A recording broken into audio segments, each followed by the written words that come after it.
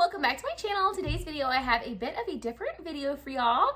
It is going to be an interview with my good friend Carol. She and I got close over on Instagram. She has released 85 pounds. We don't like to say lost because she's never planning on finding it again. This video is a bit long because Carol has so much awesome knowledge and information to share with everyone and I didn't want to leave anything out so I will be putting timestamps if you'd like to kind of watch certain parts of the video and skip around and maybe come back and watch the rest. And I hope that y'all enjoy today's interview. Just a quick reminder neither of us are medical professionals. If you are on certain medications or have certain health issues, you may need to speak with a professional before attempting to fast. Hey, Carol, thank you so much for coming on and doing this interview with me today. Thank you so much for having me, Christina. It's a pleasure to be here. Thank you, really. So, I wanted to have Carol on to do this interview um, because she's released 85 pounds with extended fasting, and Carol has kept that weight off now, and she lives a fasting focused lifestyle. Before we get started with your story, go ahead and just tell us a little bit about yourself, where you're from. Are you married? Do you have kids? I'm 55. I have two grown daughters and I have two granddaughters. I'm married to like the most wonderful man in the world. Uh, he supports me in everything I do. Right now, I'm doing a lot of coaching on Instagram for a lot of women. I coach for free. I don't charge anything because, like you'll find out in this interview, the first year and a half, I was alone during my journey, and I don't want anybody out there to be alone. I would like to help and support in any ways that I can. So I support women, I encourage them, I hopefully empower them. I went from 194 pounds to 110, and it's been an incredible, exciting journey. So I just want to help as much as I can. And Carol, you've actually just completed your 650th documented fast, right? You were fasting for about six months before you found the app. And is it which is it the Life app that you're on? The Life I'm app, on two, yeah. so I always get confused. The Life app. And so you started documenting your fast like six months into your journey. And so you've done 650 since that time. That's pretty awesome. That's a huge yeah. accomplishment. I don't think very many people can say that. How many do you think you've actually done? Like if you were to go back and add in your first six months, what do you think your number actually is? I don't know, but I have been fasting for three years and three months. So I, I kind of calculated that probably within the next year, maybe year and a half, I'll probably make it to a thousand fasts, but we'll have to see. I'm not in a rush. There's no rush. There's no end game here. So intermittent fasting has been a hot topic, but I'm kind of curious how you came across extended fasting because that's what you've done to release your weight. And I don't think it's really like that well known. Like when people talk about doing rolling fasts, which are completing a fast, eating one meal, and going right back into another fast, like most people aren't familiar with that. So how did you come across that style of fasting? I just evolved on my own. Um, when I when I first started, I kind of came across fasting by accident because uh, I was 194 pounds and I was exercising like crazy. Like every day I was exercising and I ended up getting plantar fasciitis in my foot, and it just crippled me up. But I kept I kept um, exercising anyway, and I was taking Tylenol and Advil and Tylenol and Advil day and night, and even in the middle of the night, I'd wake up and take it. It was horrible, and so I went on uh, YouTube and I came across Dr. Berg, and uh, he was telling telling how to kind of fix your plantar fasciitis, and it worked.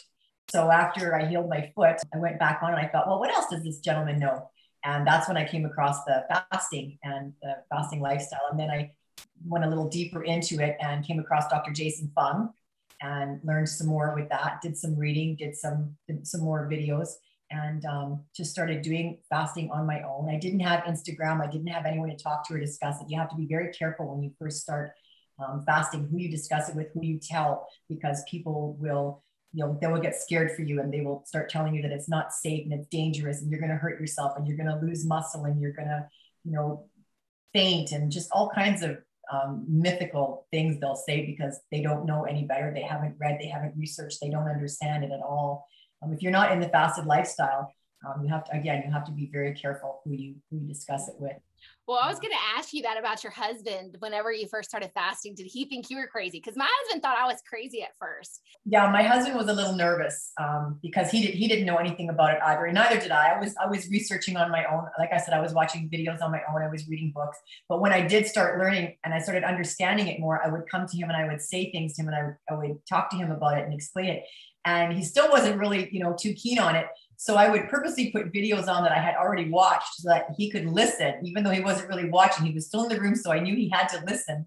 And then he started, you know, um, understanding it and started calming down a bit. That's and um, he jumped in at six months. Um, I asked him, I said, you know, please just try this with me. Try it for two weeks. If you don't like it, I promise I won't bug you again. He tried it for two weeks and he's been um, three years now, almost three, two and a half years, sorry, two and a half years in now. And he loves it. He would never go back to any, any other lifestyle than this. He went from 224 pounds to 185. He went from size 36 pants down to size 30. He still has around 10 pounds to go and um, very very comfortable in the lifestyle. So we so I have someone to do it with, someone to support me a bit, and it's it's really nice. But again, when I very first started, um, I was completely alone. I had no Instagram, I had no one to talk to, and um, my husband wasn't doing it yet either. So I'd have to go into the into a different room when he had his meals and stuff. Um, like I said, I jumped right in first, and I would do like two two or three days, not just one.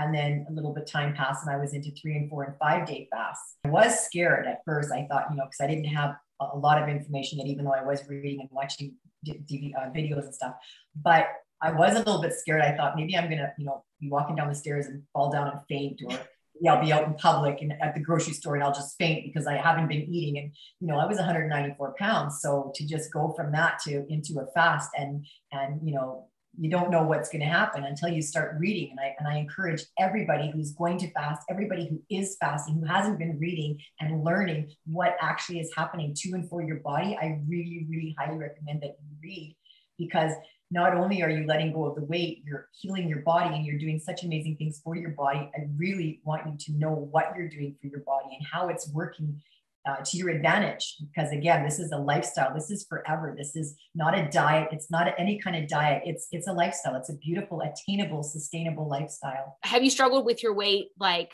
for very long or is this kind of more of a new thing for you? Has it been just the last few years or did you struggle with your weight at all throughout your life as a kid or even into adulthood? No i i think that my weight started progressively coming on um, after I turned around 35, maybe 38, because once you hit around 33, 36, that's when our bodies as women, our bodies change unbelievably. That's when our hormones really start to fluctuate.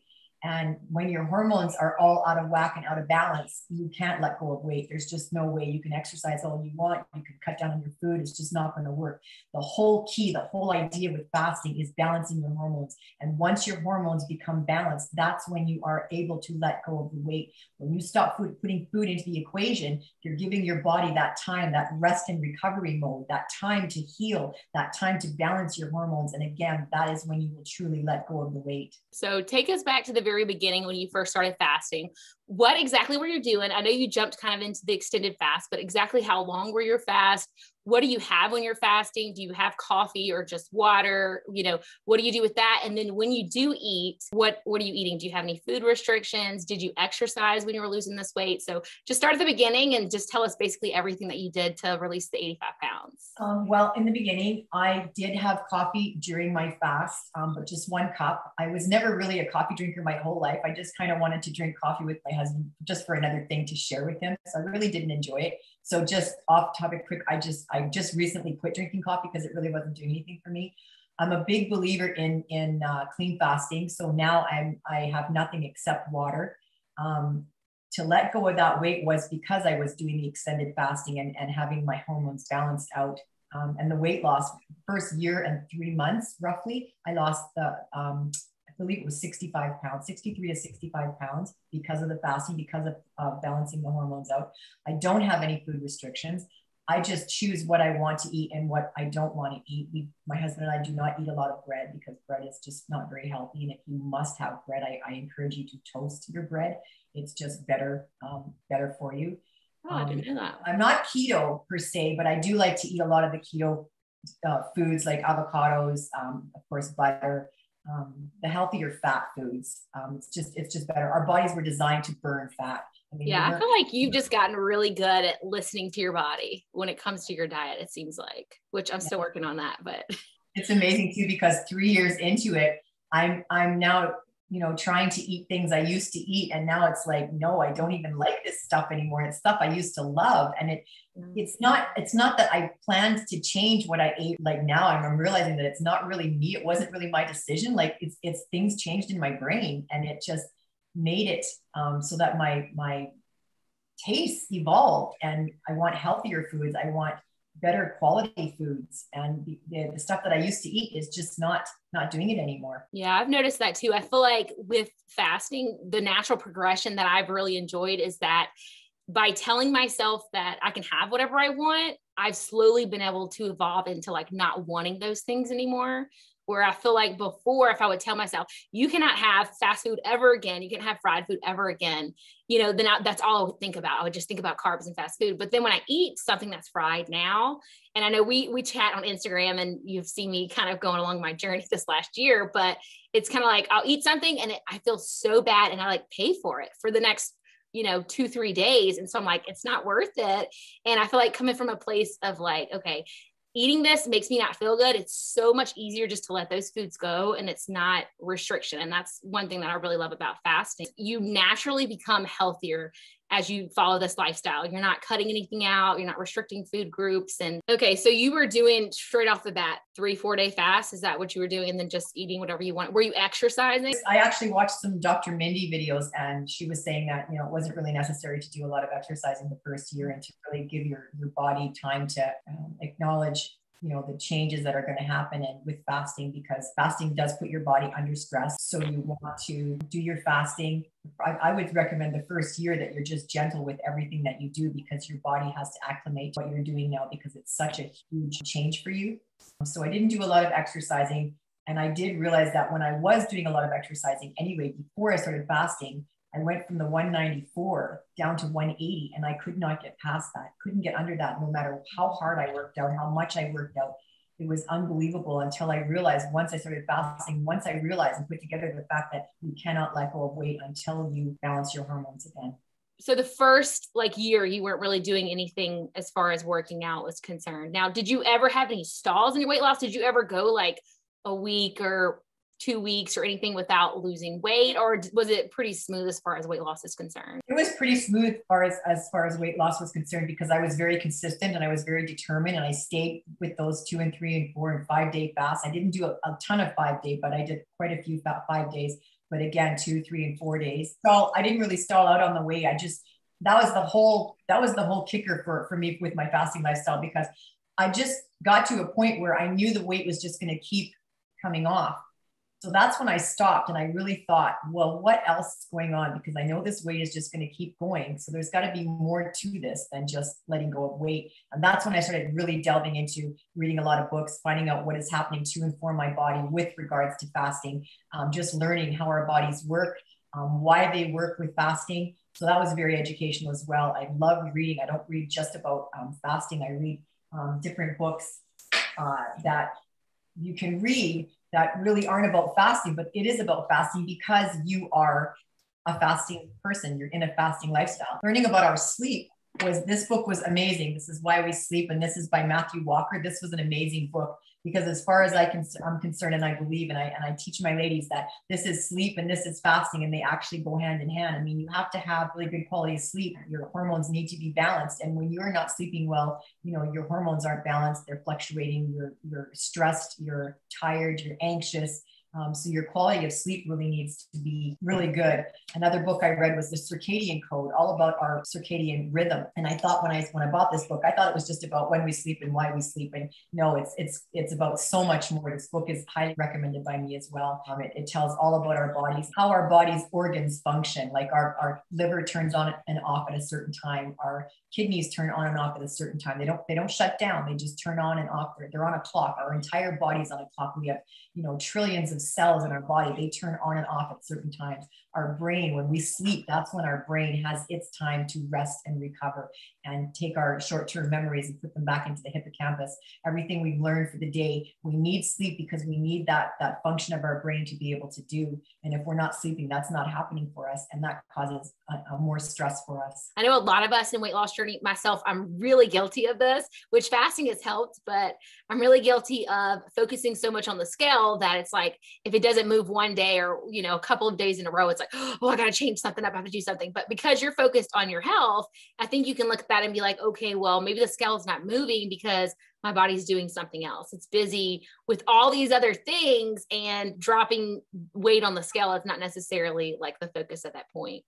Yeah, sometimes it's not about the scale moving. Sometimes it's about I, I tell some of my girls that if they if they want to try uh, finding a pair of pants that are a little bit too small and put them in, in their bedroom on a chair. Don't put them in the closet because you're going to forget about them. But find a pair of pants that you really really like, fell in love with, just got to have them. And there's too small. And then each week you try them on and you just watch your progress and how, how wonderfully fasting will work for you. I have a couple of things hanging in my closet. So it's always exciting to pull something out. And then the other, like a couple of weeks ago, I think I posted on Instagram, I took out an out like a pant and they were like this far from closing and I put them on and I could pull them out and they were too big. I had waited too long to wear them. So that was oh, pretty exciting. And I was like, well, I can't wear them now because they're too That's big. so exciting. That's really exciting. I mean, you know, that's always, yeah, that's always a, a good thing. So, and again, my weight hadn't dropped that much since the last time I tried them on. But like you said, those inches, and sometimes I think when you don't see a weight on the scale. I have to get better at measuring myself because sometimes I'll notice the inches are shrinking more. It's like your body's working on like eating up loose skin and all of that kind of stuff. Sometimes your body is so busy healing, you're not really letting go of the weight because, like you said, something else is actually happening, something even better because the healing part of your body and what your body's doing is a huge part of the fasting journey.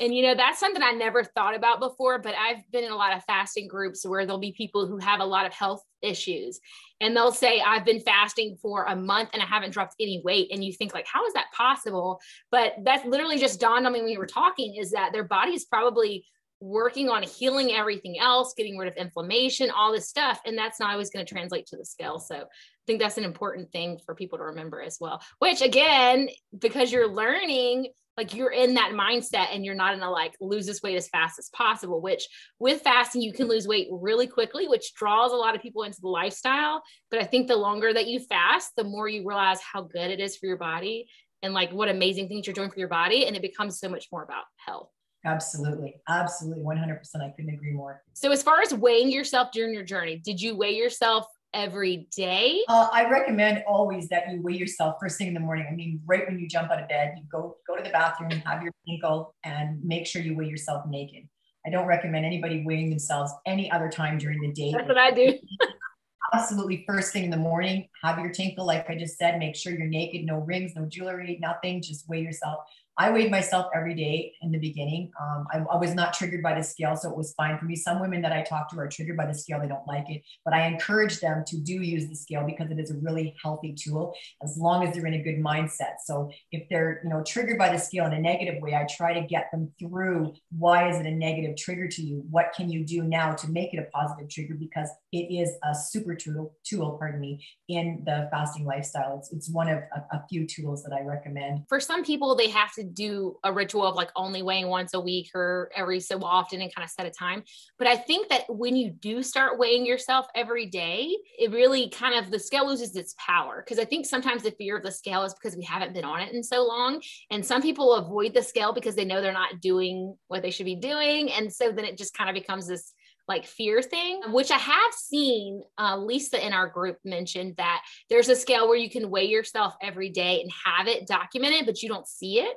So I will try to remember to link that down below because I'm interested in that for people who maybe want to have that data to see how the scale is doing, but they only want to go back and check it, you know, once a week or once a month or something like that. That's an amazing, that's an amazing recommendation. But yeah, if you don't want to, if you don't, I'm not saying that you have to weigh yourself every day. Don't get me wrong. I mean, some women want to, some women don't but I, I would recommend if you if you do not want to wait every day, please at least do weekly. Absolutely. So, what about drinking water? Did you monitor how much water that you drink? Because I get that question a lot as well. Has that changed since you first started to now, like your mindset on how much water you need? My mindset has definitely changed with just information that I've been watching and seeing and reading. It kind of frustrates me that people are like a lot of my new girls that follow me that I that I've been coaching they'll listen to things and they'll do what they're what they're listening to but they're not really following the correct people or they're not sure. People are saying drink gallons and gallons of water every day. Gallons and gallons and gallons of water. And it's like so unnecessary to drink gallons and gallons of water unless you're an athlete or you're working out constantly. Another thing is electrolytes. That's a big hot topic too is electrolytes. People are taking electrolytes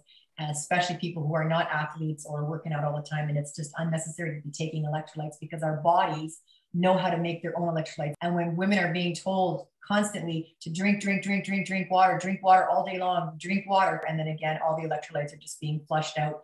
And your body, of course, is going to make more, but you're in this fasted state where you're trying to heal and your body's trying to catch up and do these electrolytes.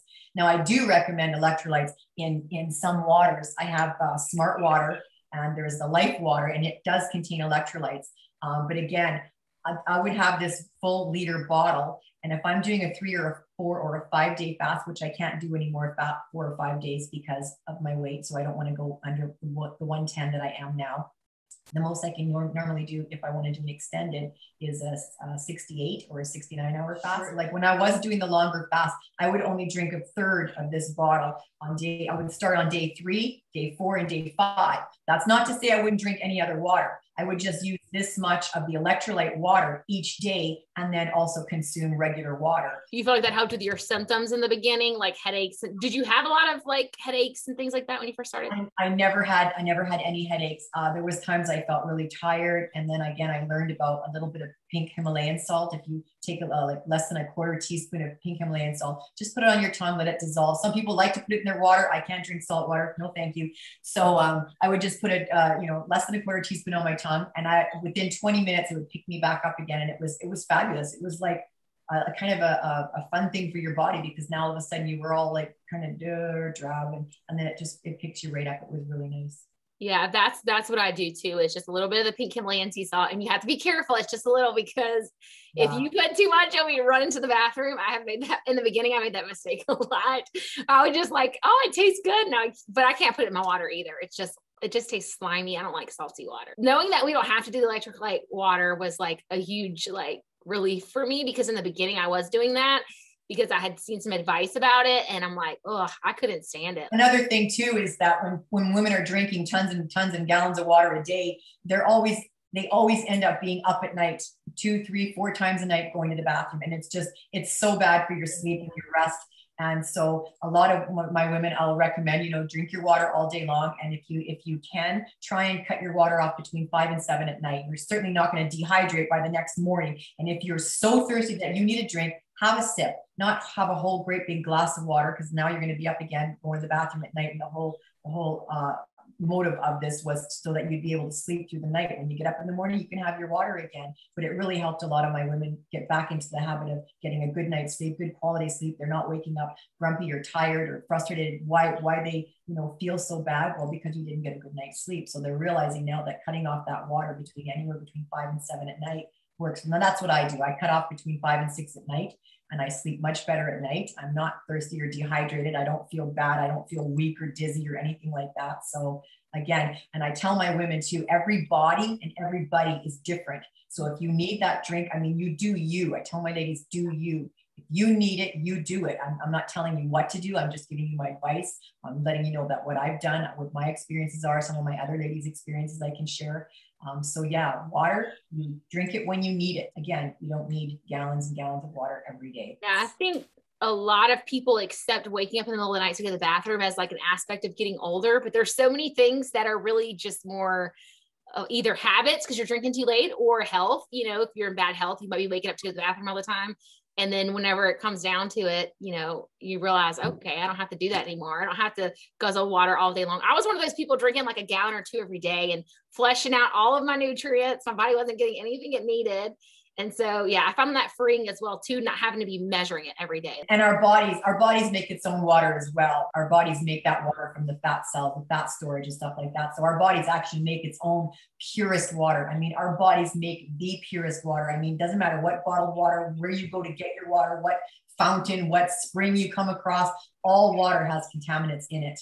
I'm not saying don't drink water. I mean, it, I mean, just every single water does have contaminants in it. And that's just, that's just our world. That's just the way it is. When you stop drinking at, you know, five or six at night, and if you do get up in the middle of the night to pee, it might be because your body has now made some extra water and you just need to get rid of that.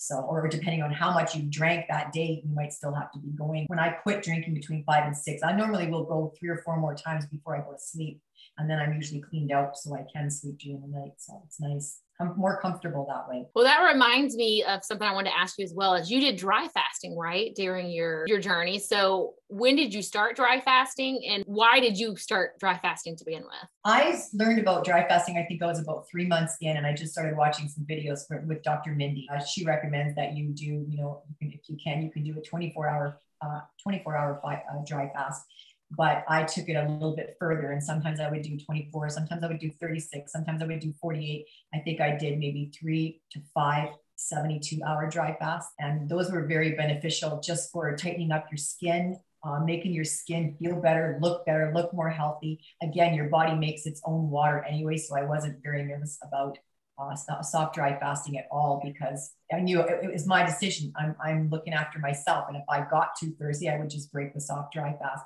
but I would just go through with it, whatever I had, you know, bookmarked on my, on my app. I have two different apps. I have the Life app and I have a Serene app. And the Serene app I use when I stop drinking water at like five at night until the next morning. So I keep track of it that way. Uh, but back then I would keep track of my soft dry fast as well. And it was just, it's just very beneficial. I just felt better. It's kind of like, um, it's hard to explain, but you feel lighter. And I don't mean weight wise. I mean, when you're not drinking or putting food into your mouth, it's just, it just, it's a whole other experience. It's, it's, it's, it's beautiful. It's I can't even describe it. You have to go through it. It just it just feels amazing. Uh, with a soft dry fast, you can brush your teeth, you can wash your hands, you can have a shower. I was going to mention as well. There's a difference in a hard and a soft. I did do a couple of hard dry fasts where I washed my hands, brushed my teeth, had my shower, and then I would go 24 hours without drinking or eating or touching water at all unless I ended up going to the bathroom, of course, then I would break my fast. I have to wash my hands. I mean, that's that's a given. But yeah, I, I did a, quite a few um, quite a few hard dry fasts as well. They say they're a little more dangerous, but they're not. You just have to use common sense. And if you don't feel good, then you break you break the fast, just like a, a regular fast. If you don't feel comfortable, if you don't feel like you're your body is responding correctly, you break that fast. This is your body. This is your journey. This is your life. Nobody can tell you what to do or how to do it because you have to learn how to do it for yourself. Because, like I said already, every body and everybody is different. So every everything that we do, I mean, something that works for you is not going to work for me. Something that works for me might work for you. You know, every everything is is um, is on the table for experimentation.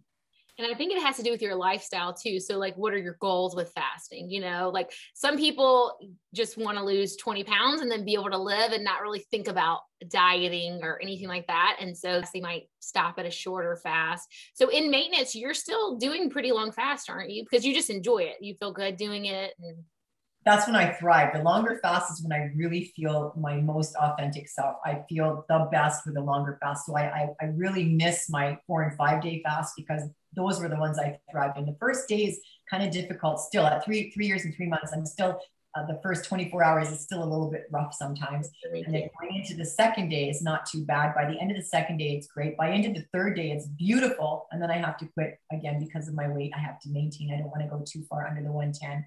But I missed the four and five day because once I hit that 72 hour uh, fast, you just feel amazing. You just, you have unbelievable energy. I, I know it was the ketones, and the ketones are fuel for your brains. Ketones are another thing that your body makes for you during fasting. Uh, it's an amazing process as well. Um, autophagy, we should discuss autophagy in a little bit too. That's another amazing process that happens with your body. But yeah, the four and five day fast, by the time I got to my 50, and you don't get hungry. That's another thing. People are always scared they're going to be hungry, and you're not going to be hungry. Hunger, hunger will come in waves, and they normally last about two minutes, just like any other craving or any other wave that you experience, whether you quit smoking or you don't want to have alcohol anymore. These waves will come upon you, and you'll be like, oh, I need food. I have to have food. And it's like, just write it out. Put your clock on your phone for two minutes and or or go put some lipstick on, go paint your nails, go, go do something for yourself for two minutes, something for yourself, for you.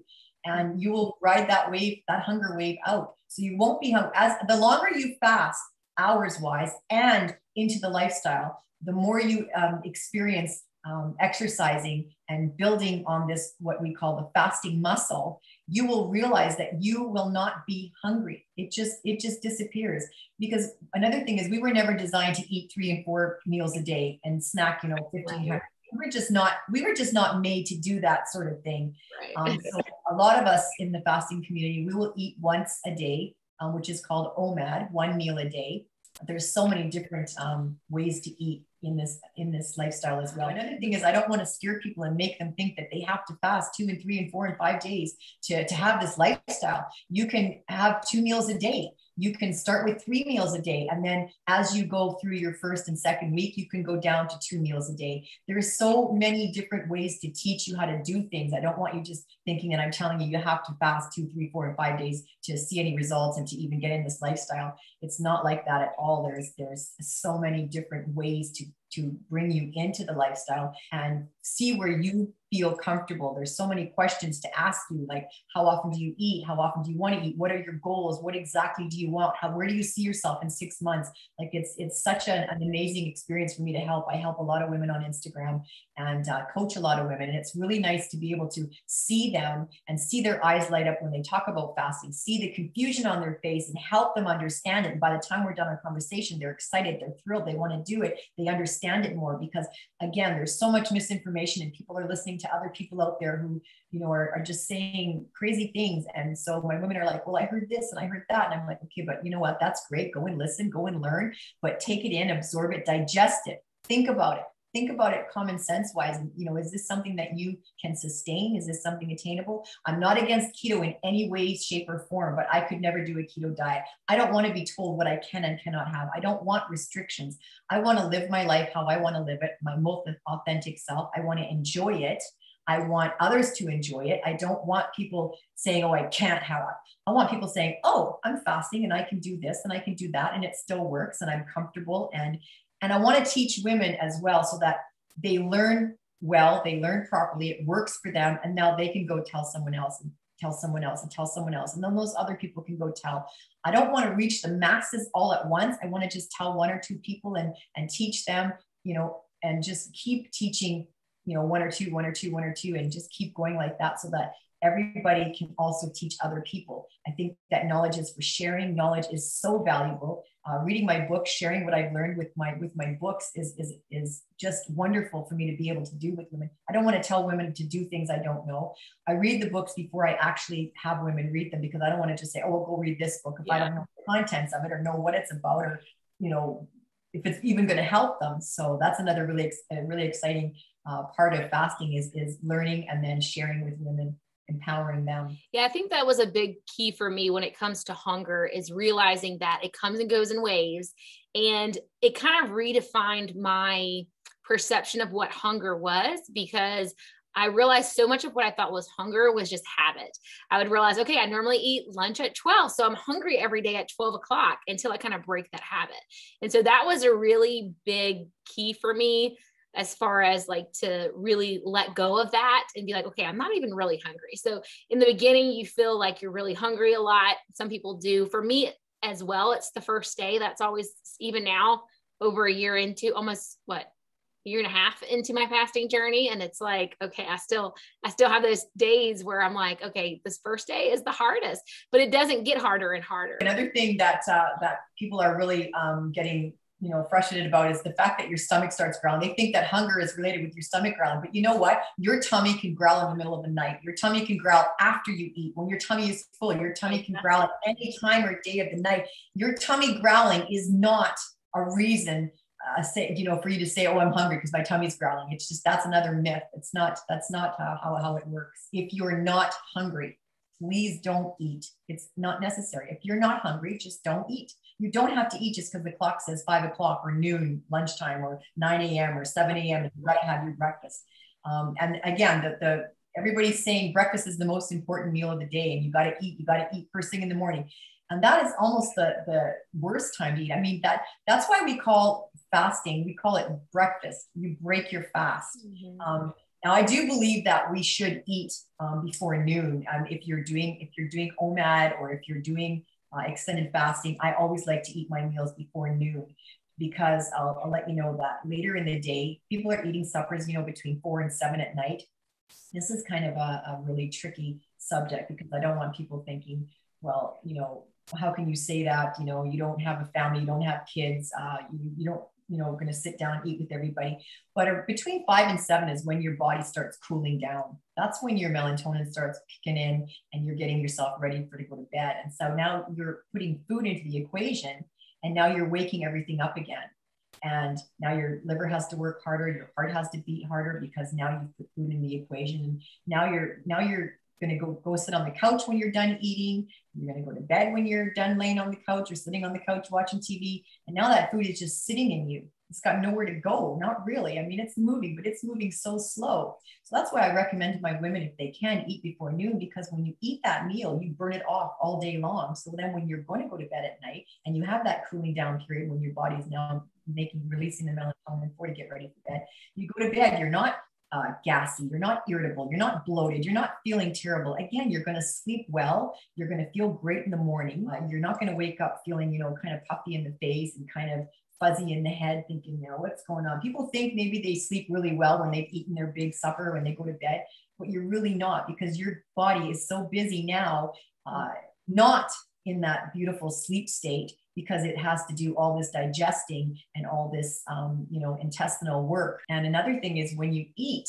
the last mouthful of food that you take, it takes 12 hours for you to digest that food. Think about that when you're when you're having your meal and and um, kind of learn about that, do some research on that. I think that's a good point for people because I've seen a lot of people who say that they tried OMAD, you know, one meal a day or 20 to 24 hour fast, and they didn't really want to go any longer than that, but they felt like they weren't having results. So that's something that people could try who are interested, you know, in fasting. Maybe they, they want to eat at least once a day is just to try them back in your meal up. Now, I still eat it at night a lot, but I do know it's better and healthier to eat earlier in the day. I always have better results on the days that I do choose to eat earlier. And I do make a point if I'm not doing longer fast, if I'm eating more often, to try to sometimes make those meals a little bit earlier because I definitely see the benefit.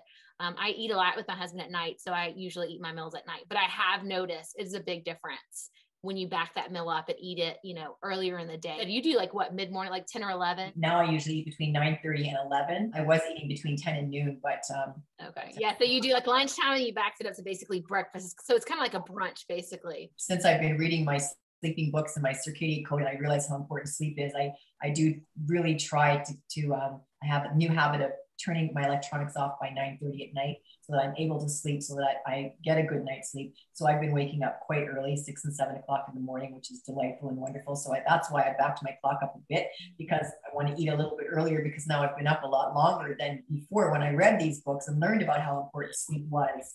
So that's kind of an exciting part too. And it's funny because my neighbors will smell our steaks at like 9 30 or 10 in the morning and they're like, what are you guys doing today? But you can't tell them what you're doing. Neighbors probably think you're nuts yeah, you can't talk to them about fasting and what you're actually doing. And they're like wondering why we're having steak at like 10 in the morning, right? So it's kind of funny on that aspect, but yeah. Uh, so your husband eats with you, you guys eat together, and that's his one meal. He eats at that time. And so he eats every day, but you still do. What's your schedule right now? Does it kind of change every week now that you're in maintenance, or is it kind of just based on how you feel, or how do you do that now? Both, actually. It's based on how I feel, what I want to do. Um, right now, I'm doing a 46, and then um, um, then I will probably do another seven, uh, 68. I don't usually do 70 because by the time it c- comes around to a 70, that's two hours further. So I want to eat before 10 in the morning. So I always think 68, 69. That's why it always sounds kind of odd, not a 72, because that would take me back up to almost noon. I think that's important too. Some people get stuck up on, and I was like that for a while, like it has to be an exact like 48 because that's two days or 72 because it's three days. And it's more important, probably, you would say, like the time that you eat rather than having a set, you know, Absolutely. schedule of a specific number of hours. Absolutely. You can, it's your journey and you pick what hours you want, what, what time you want to do it, what, what works best for you. That's the most important thing. This is your journey. I tell my ladies, we're all on the same journey, but we're just taking different paths. We're still beside each other, walking beside each other. We're just taking different paths, and we're all going to meet at the end with great health and, and happiness. So, what would be your biggest advice for someone who is just getting started in fasting? I know you're big on learning and you have your book recommendations and all of that, but is there specific advice that you would recommend for someone? And then also, if there's someone who's tried fasting and they're struggling, they just feel like they can't do it, what would your advice be in that situation as well? My number one, number, number, number one thing is please, you have to have support.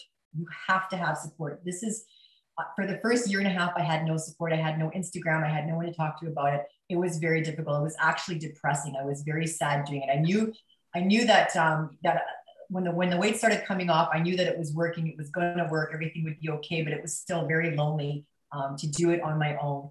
That's why I reach out on Instagram and I'm and I'm helping women. I'm encouraging them. I'm supporting them because I don't want anybody to be alone. Now, the women that I have uh, supported and encouraged have come back to me and they are very, very thrilled. They're very excited. They're very grateful because even being on Instagram, watching other people do their fasting and stuff and do their journey and talking to a few people here and there, they don't feel like they're part of something really. They don't feel like they're being supported. They don't feel like they're they're they're having anyone to do this with. So I also like to help my women by joining in with their fast or having them join me with a fast. Then when you're doing a fast with someone else or a few people, it feels even better because you're part of something really, really special. Yeah, you just you don't want to feel like I think a lot of people they don't want to feel like they're letting someone else down either. You know, when they're when they're doing the fast together, it's kind of like, oh well, I really want to eat that cookie, but I know Carol's fasting.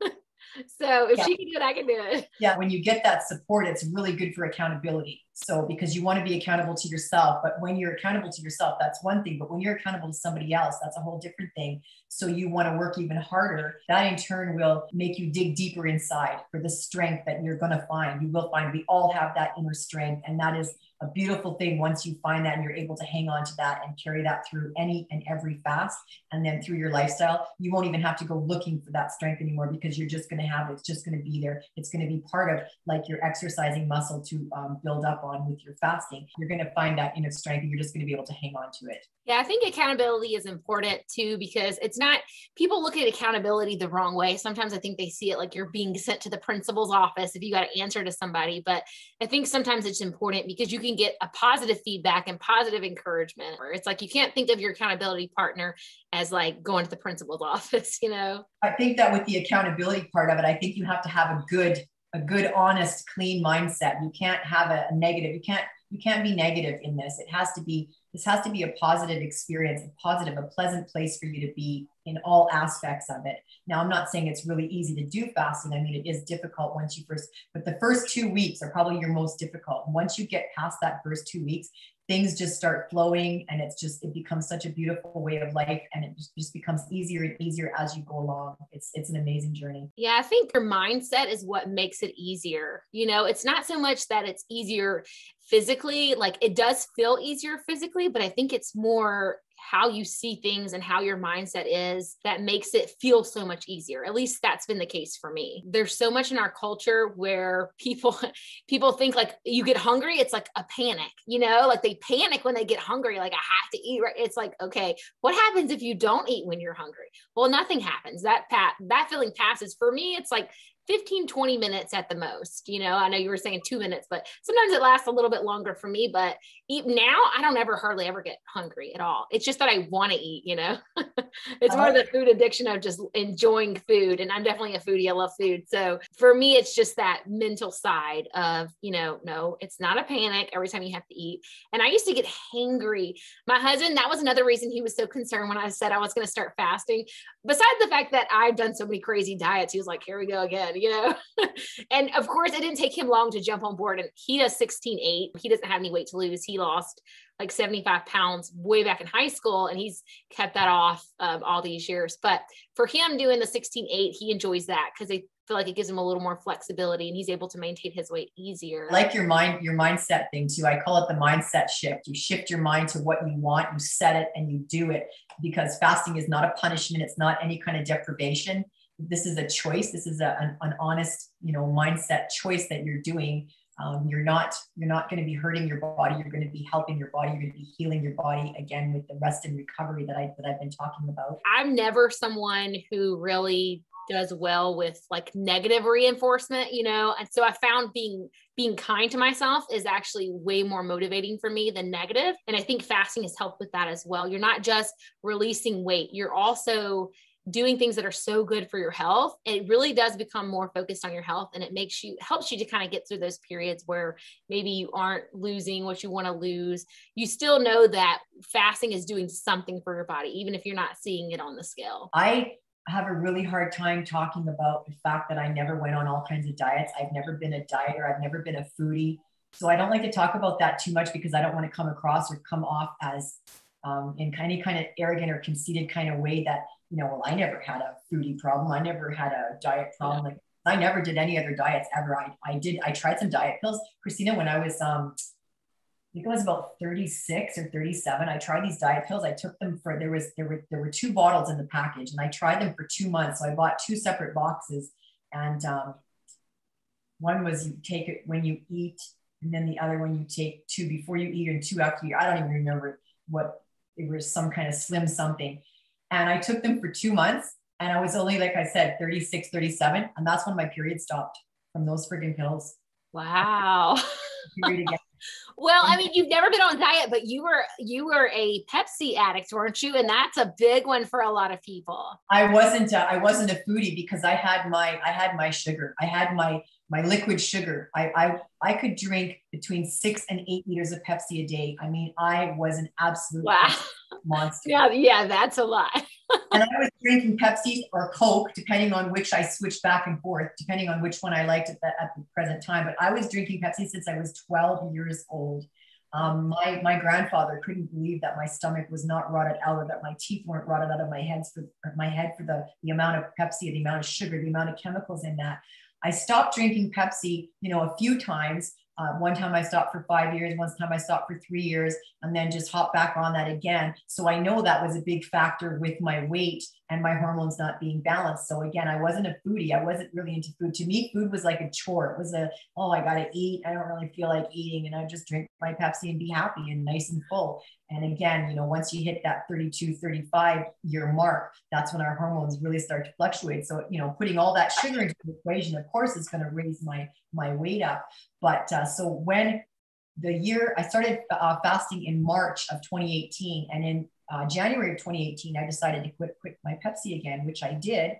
And not not this is before I knew about fasting, so I'd already had a bit of a head start because now my Pepsi was already out of the equation, which was great, which really helped with letting go of the weight once my hormones were balanced. So it's been uh, three years now, three years and I think almost six months that I've been off the Pepsi as well. I'm never going to go back. And it's really funny because I actually bought Pepsi uh, about a week and a half ago, and I thought to my husband, I said, "Well, I'm gonna I'm gonna buy some Pepsi. I can have a Pepsi every now and then. It's not a big deal. I have a Seven Up. We buy those little teeny tiny brand new cans. They come in six packs, right? I just they, they're the cutest little pops, right? And so we bought a six pack of the Pepsi, and and I'm telling you, I had a sip and I swallowed it, and I was just I was mortified. So I thought, well, maybe it kind of went rancid or something. So I had another sip, and I had to go to the sink and spit it out for the first time in my life, I could actually taste the chemicals in it, the food coloring. I don't know what, but it was the worst thing I've ever tasted in my life. And I lived on that stuff. So without meaning to change, my brain has now changed and, and said, no, this is not something that you're going to ingest, you're going to like, we don't like, your body's healthy now. We're not letting that come into the equation. So that would, and my husband was so curious. He's like, you know, because I poured it down the sink. I was like, it's horrible. I couldn't even speak. I was just like, oh. so he went and he got one and he cracked it and he said, it tastes fine. And I couldn't believe it. I couldn't believe it that it wasn't rancid because to me, it tasted just rancid. But for going and, and I know and it wasn't from not drinking it for three years either because like I said I've drank I've been I've quit drinking it for five years in the past and always came back to it but with the fasting lifestyle as you were saying Christina about how how we change um, how our bodies want the healthy foods and how our brain has now decided on we want health and healthy taste health, healthy choices. Even another example is my Caesar salad. I just worship Caesar salads. I love them. I know they're not that healthy. It's just lettuce and a little bit of, you know, uh, Caesar salad dressing or whatever, but I loved that lettuce. And I had a Caesar salad about a month and a half ago, and I could not, I did not like it at all. I will never ever have it again. The texture of this of the lettuce now, even the taste of it, it's just something that my body just didn't like anymore. It was it was really shocking to me to to go back to something that I haven't had for a while, taste it, and, and my body's saying, no, not for me. Even if it's foods that are healthy or not necessarily bad for you, sometimes your body knows, like, nope, you don't respond well to this. And again, that's what I love so much about fasting because if you just told yourself, I can never have a Pepsi ever again for the rest of my life because I'm going to gain weight and this is what I have to do. It's it's like such a sacrifice mentality of like, well, poor me, I can't drink Pepsi and stay thin. Other people can. But when you're like, no, I'm doing this lifestyle, I can have a Pepsi if I want to. If I choose not to have one or have one, and then your body's like, nope, and now you're like, ugh, I don't want that stuff. That's for me. It's like I don't fantasize about certain foods and or drinks or whatever. That it's like, ah, you know. I think with the diet culture and mentality, you get so focused on like just wanting those things. And that's all you can think about when you're like, no, you can never have a piece of cake ever again. And I think you and I both had mentioned that we both had cake recently. We were talking about this on Instagram and it just didn't taste the same. You know, like it's it's just not. I feel like some things you would have a bite and you'd have to keep eating. Now it's like I have a bite of something like that and I'm like, eh, you know, it's it's not necessarily like a big thing anymore. It's really funny because it's the same thing with uh, going outside and smelling. If you're walking past McDonald's or you're walking past Wendy's or any of those fast food joints, and you you smell that smell, and you and you used to think, oh, that smells good. It can smell. You thought it was the French fries. You thought that smell was the French fries, and you realize now with with what you learned, like also another thing that I learned about was oils, the good oils, the good extra virgin olive oils. They have to say cold pressed or first pressed, or they're just not not a good not a good oil to to have in your home. Or avocado oil, which is really good. So we're outside and we're smelling this smell, and we used to think, oh, it smells so good. I'd love some fries or something, you know. But now when we're outside, my husband and I, and we're smelling this, we're like, oh, that's the rancid oil. That's the oil that's no good for you. And it just, now it actually stinks. Now it actually smells bad. These could probably make you hungry, huh? Mindset that we were, that we were taught to believe that that smell was a good smell. And our bodies was were taught, our bodies have been taught that that was a good smell. Now we smell it and we realize that is just not a healthy smell. That's not a good smell. So that's really neat to, to, to have that experience as well. Another thing was if you like when you gonna come off your fast, say tomorrow, and you think, oh, I'd really like pizza tomorrow or a, or a hamburger or, you know, whatever you'd like. But then the tomorrow comes and then it's time for your feast. And you've done this incredible, beautiful thing of a fast, which I call it, I call it a gift for your body. You've done this amazing gift for your body now. Now it's the next day, and you, you last night you really wanted a pizza because maybe you saw someone on TV having a pizza in one of your shows or having a burger. Yeah. Oh, I'd love a burger and some fries or whatever. But when you get up the next morning and it's your feast day, now you're rethinking things because now you're like, you know what? This is my feast day. This is my feast time. This is my gift. Again, another gift. Fasting is a gift. The feast is a gift. This is a uh, a beautiful thing for me. I don't think I want to ruin it with pizza. I want something healthy. I want something that I'm really going to enjoy, that my body's really going to enjoy, something for me so that's a really neat thing to experience as well. Yeah, I think it's kind of like imp- impulse purchases at the grocery store by the counter. It's kind of like we have impulse meals. You see somebody eating something, it smells good, and you just eat it. And then after you're like, ugh. But when you have like that time to think about it and you're like, oh, yeah, this is what I'm getting when it's time to eat. And you go to eat, sometimes you'll even go to start eating it and you're like, oh, that's for me. Like I'll start to eat something that's not healthy. And then I'm like, I really don't even want this. I'll just put it aside and go get something else. So it's really cool to see your body naturally progress towards health. And it doesn't have to be so restrictive. And I think that's how that's the reason for me as a serial dieter that I feel like fasting is finally the thing that is a lifelong way of living it, not just another diet to be on. Nothing else has ever changed my habits in this way without me feeling like I'm forcing it constantly. I know you and I both are on the same page where we don't want people to think like, okay, you have to do two, three, four, five day fast in order to do this. You can be doing 16 or 20 hour fast and kind of progress more if you want. What do you think is probably a good starting point for people? Well, I just believe that um, if somebody really wants to get into this and they want to test the waters and they want to learn, I would love to coach anybody who wants to learn and get into the lifestyle. I don't charge any money. I never would. I never will. Because of my year and a half, almost year and a half of being alone, again, I don't want anyone to be out there alone. So I want to help as many people as I can, again, for free, because it's just such a beautiful, attainable, sustainable lifestyle. And I'm so very passionate about it. I would say, I would really recommend that if you're interested and you want to do it, that you try it for two weeks.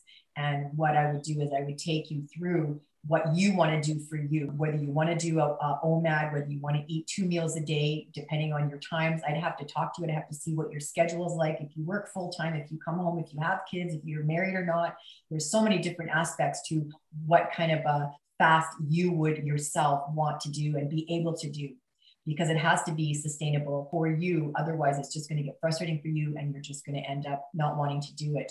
I would recommend two weeks um, to start and again i would help you learn what what you need to do for yourself and how you would do you how it would be for you again with learning about you first to be able to help you. I can't just tell you what to do or or even suggest you what to do because i don't know your personal life your personal history.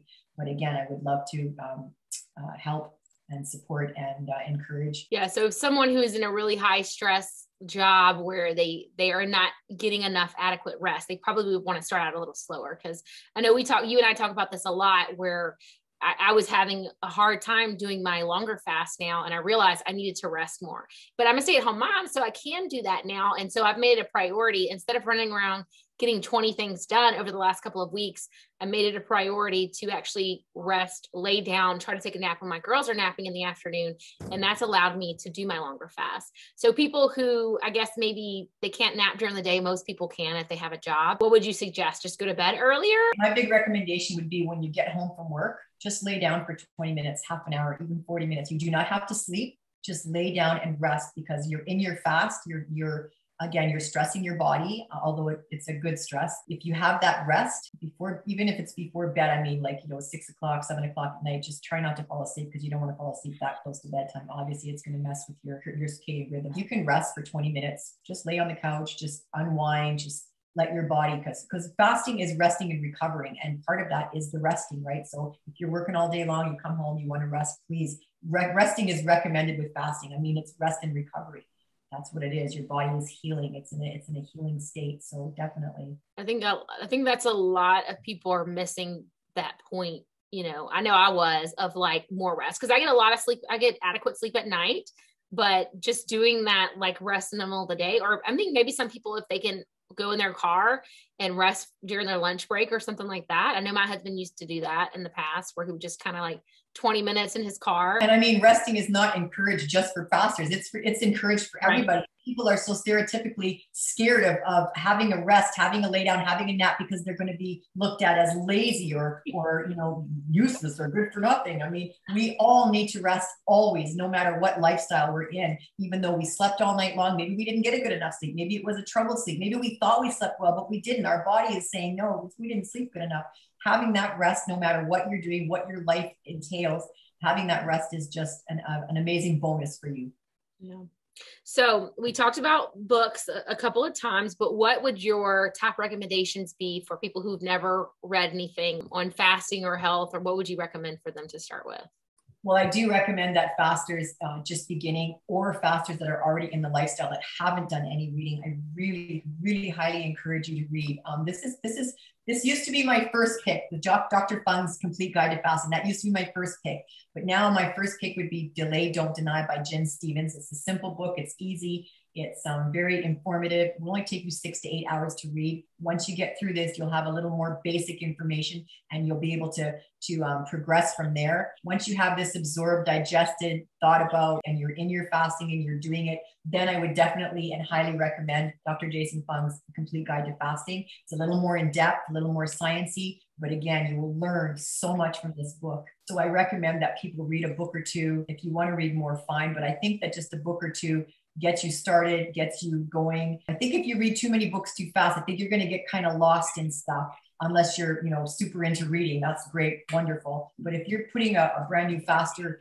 you know, into a, you know, read this book, read that book, read that, I think you might lose them too because not only are you now having to read these books, you're having to do this fasting as well. And I think that the fasting itself takes so much focus just on doing the fasting it, itself because your body is going through so many changes and stuff like that to just put too much on yourself. Like again with exercising i don't think you need to do a lot of exercising the first year. I didn't have to. Maybe you will have to. I'm not sure. Maybe you'll want to. Um, but i can tell you that exercising alone is not going to have you let go of weight.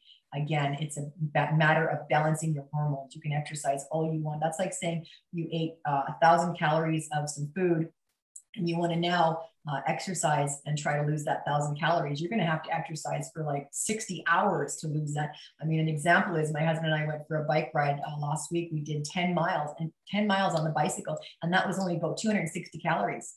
Now, if I sat down and ate a 2000 calorie meal and I only lost 235 or 260 calories, I mean, hello, that's the yeah. same kind of idea as calorie in, calorie out. Calorie counting is such a myth.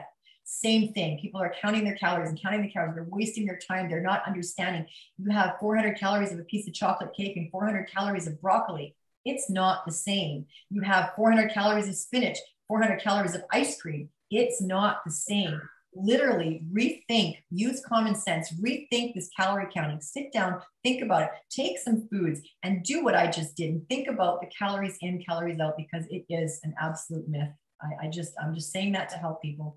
Right. Well, I know, yeah, as far as your satiety level, because you're going to eat, you know, this much volume of something that's a healthier, like versus an unhealthy thing. It's a little tiny bit going in your stomach. But also with calorie counting, it does lower your metabolism, which I get that question a lot with fasting as well. And I talk to people about that, how fasting actually increases your metabolism. Actually, I was going to make a video on that in the future. I have a good video from Dr. Fung about how it actually does increase your metabolism. You know what? You know what? It's really frustrating to me too, is because like um, because like Dr. Fung, Dr. Mindy, all of them want you to come into the fasting lifestyle. So they're they're, you know, even in Complete Guide to Fasting, even in here in Gin Stephens' book, you know, she says it's okay if you have a little bit of creamer and it's okay if you have a little bit of bone broth. And same with Dr. Fung. And they're saying this kind of stuff, Christina, because they don't want people to be deterred and not come into this lifestyle. But it just frustrates me because all the women that I'm getting and that I'm talking to, I'm telling them, no, no, no, no, no, no. Fasting is simple. Fasting is water, water, water, water. No bone broth, no cream in your coffee, no herbal teas, no cinnamon in your tea, no lemon in your water, you know, this kind of thing that they're hearing out there that's okay. Well, you can, you can, it won't spike your insulin too much.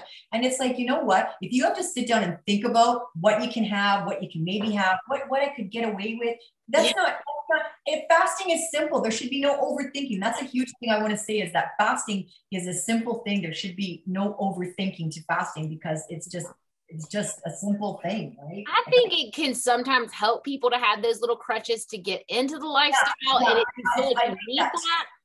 But sometimes it's easier just to do it right the first time because so you kind of I think you have to as someone who's getting into the fasting lifestyle, I think you have to stop and ask yourself like how, who are you? Are you a toe in the water kind of person or are you a jump in person? Because if you're going to give yourself, okay, all I'm going to have is cream in my coffee, like a little bit of cream in my coffee every day and that's it or you know some people say up to 50 calories up to 100 calories um, then that's going to be something else you have to cut out later and then you're going to struggle cutting that out you know or if you just jump in and say this is a new thing it's all done. And if, you're, and if you're having if you're having those little things in your coffee and you're having those little things here and there they're going to make you hungrier. So that's going to be super unbeneficial for you in the long run. And it, so it frustrates me because they say that, yeah, you can have this, you can have that because they want to draw these people in. They don't want to, they don't want to have them scared off. So it frustrates me like that. I don't make my women just have coffee. If they say, well, Carol, you know what? I really, really can't do that. I say, you know what? Okay, that's fine. Let's try for the first two weeks. If you have to have that cream in your coffee, let's try that for two weeks. And then after two weeks, let's talk again and let's see if you can weed that out. So don't think that I'm just this big, uh, right commander that well, says you can't have anything. Well, that's the point. That's the point I I, I did want to make is that if you feel like you have to have that or you're not going to start I mean, go by all means, go ahead, but just know that your goal is going to be to get that out of your diet. If you're having anything, you know, um, and I know some people like you don't even have coffee, black coffee at all, which a lot of people do black coffee. There's different things on that, but you'll learn as I'm learning, my body is tolerating that caffeine less and less on an empty stomach. And so I've cut back more and more and more to where it probably eventually won't be a daily thing for me anymore, which is cool because you're like, oh, I could never give up my coffee. And that's kind of the progression. I feel like sometimes people are scared away by the ultra strict like water only fasting. But i think you know if, if you're a toe dipper toe in the water kind of person just know you can start out that way but have a goal in mind to not be that way forever and to eventually get to cleaner and cleaner fast. For me before i started extended fasting in january 2020 I actually October the previous year had started doing 16-8 and I had tried um 16.8 in the past and I didn't have like notice any difference, have any results, but I was having just a tiny bit of measured out creamer in my coffee because so many people had said that you could, right? And I had no results. So I was like, well, intermittent fasting doesn't work for me. When I cut that out and was like black coffee and water only, I immediately started losing one, two pounds a week just doing the 16 and 18 hour fast. So I kind of like um, quit that over the holidays. And then January 2020 is when I started extending fast. But I think it's important for some people to realize that some people think that fasting doesn't work for them, but it could just be because they're adding in all this other stuff.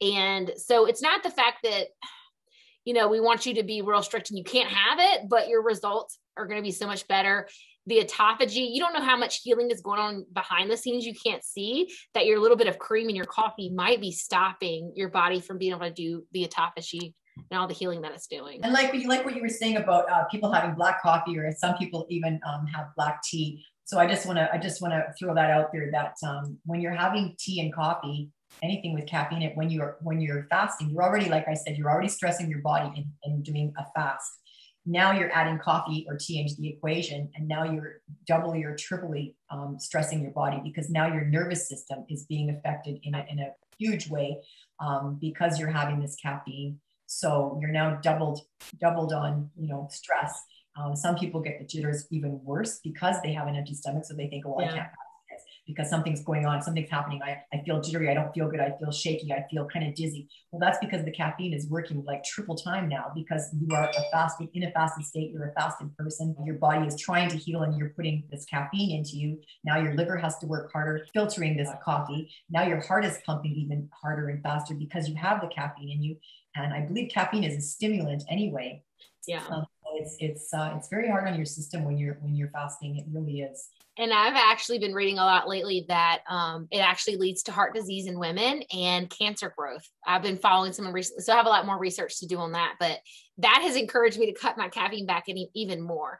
But all that to say, really, I think that I don't know. I think if people need crutches to feel like they're getting into the lifestyle, just know that your goal is going to be to eventually cut that out.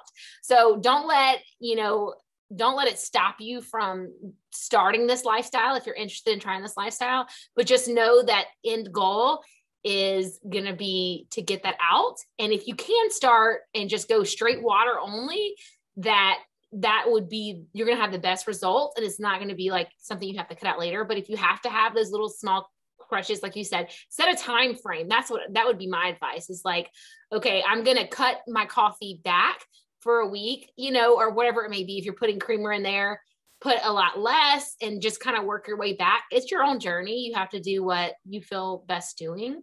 Um, and yeah, it doesn't have to be a like, I don't know. That's what I like about fasting. So free, you know, it's not, we're not going to sit here and tell you, oh, you're doing it the wrong way. We're just going to tell you like, Hey, this is the best way.